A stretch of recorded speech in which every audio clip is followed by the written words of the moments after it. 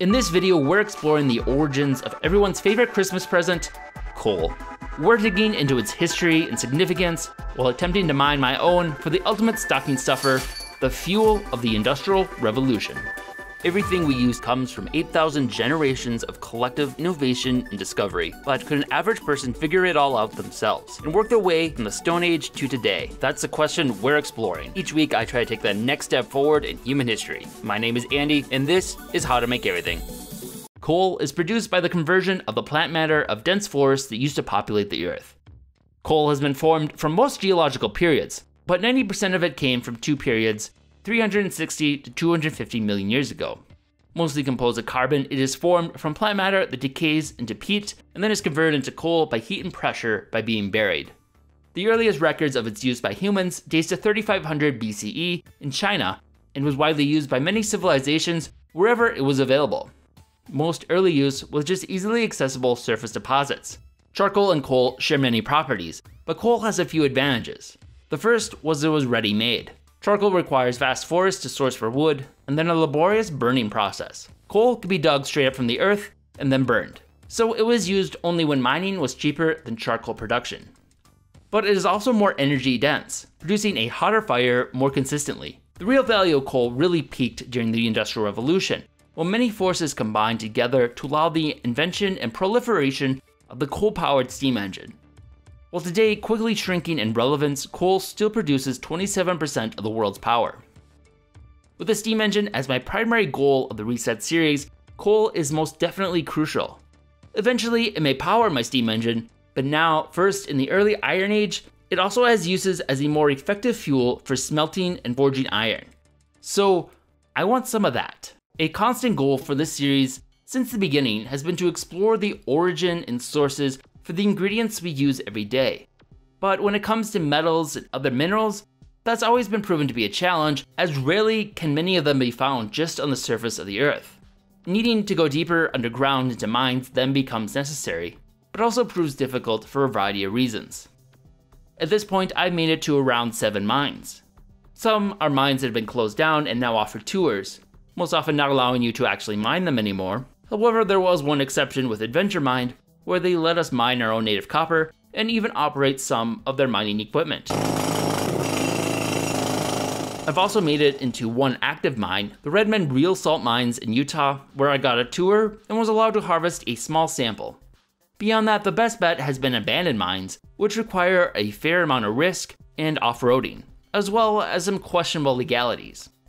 And when even that fails, I can sometimes scrounge some of the sources from their discarded tailings outside of the mine. In the end, getting access to a large supply of minerals has always been next to impossible. That's why I made it a caveat since the beginning of the reset that I only need to source an initial sample of the mineral before unlocking a larger store-bought supply, as anything more is basically impossible in the current modern world.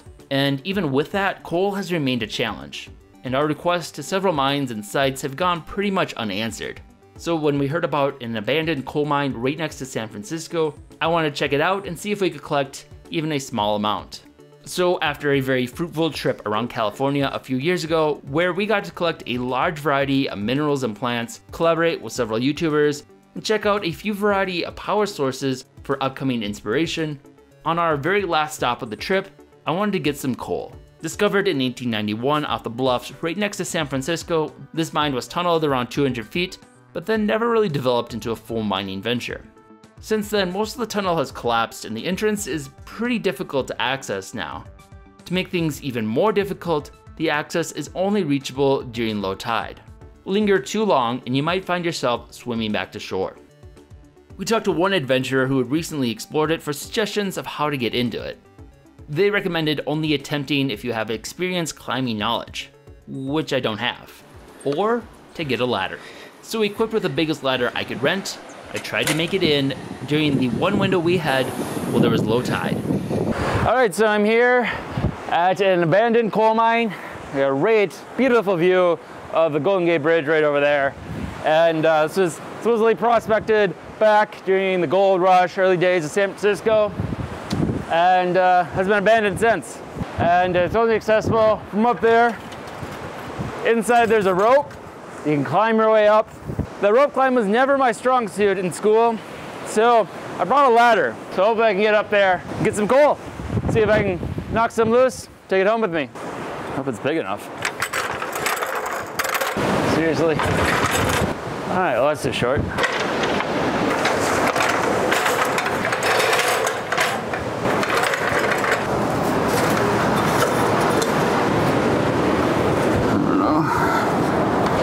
It was still it was a 10 foot climb, so about an 18 foot ladder. It's more like 20 feet, more than that even.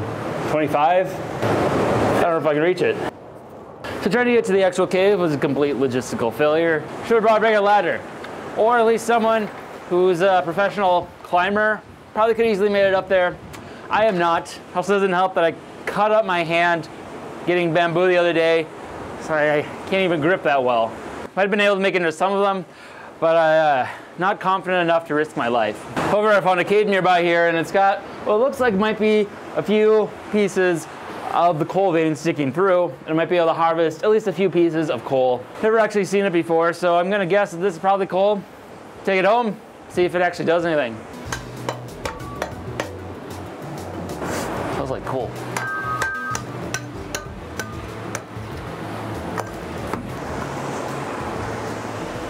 Damn.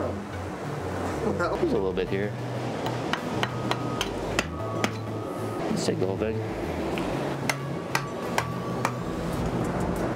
It's kind of like charcoal, which I think is a good sign.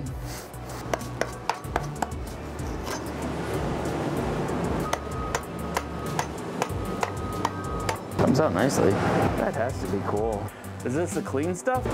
Trilobites. All right, so I didn't make it up to the mine, but I did manage to get a small quantity of coal. All right, got my Christmas shopping done for this year.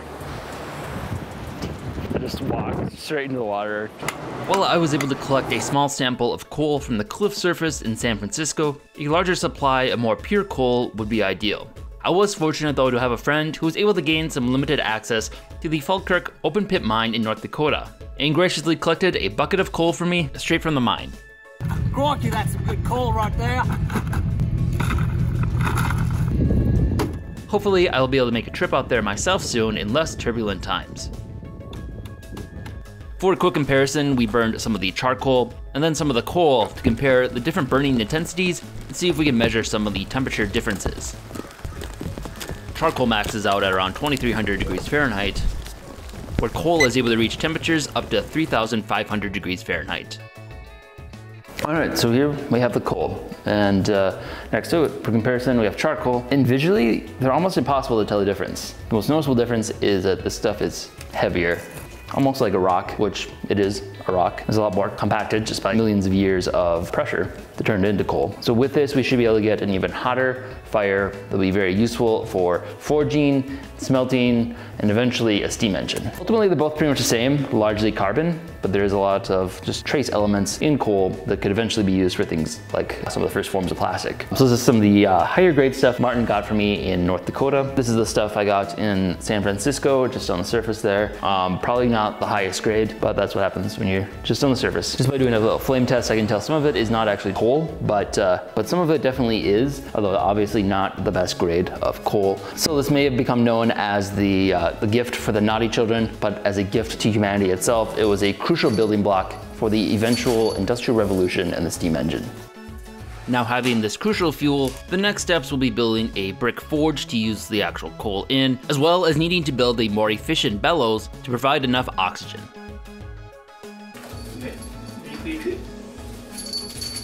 Merry Christmas, Merry Zagmuk. Thanks for watching. Tubby.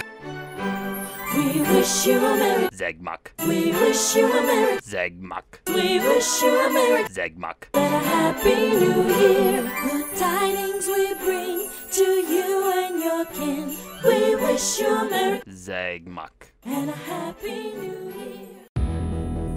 If you enjoyed this video, be sure to subscribe and check out other content we have covering a wide variety of topics. Also, if you've enjoyed these series, consider supporting us on Patreon. We are largely a fan-funded channel and depend on the support of our viewers in order to keep our series going. Thanks for watching,